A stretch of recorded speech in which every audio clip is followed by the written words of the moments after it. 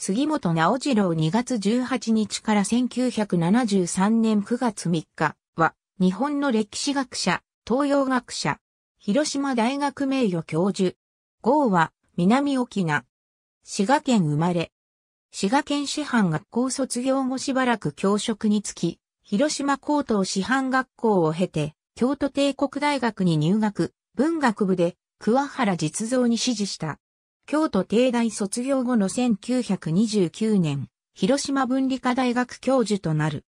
在任中の1945年8月6日、原爆投下により、爆心地から 1.7km の丹原町の自宅で妻と共に被爆するも九死に一生を得る。戦後の1953年、広島文理大が申請に移行した広島大学の教授となる。広島大学退官後、広島文教女子大学教授となり、1973年に京都市佐京区一条寺の自宅にて、狭心症により死去。法名は、自公院工学直道小寺。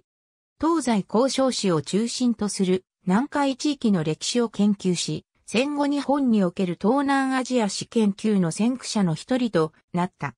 東南アジア史、東西交渉史を中心とした急増の資料は、広島大学附属図書館に寄贈され、杉本文庫として公開されている。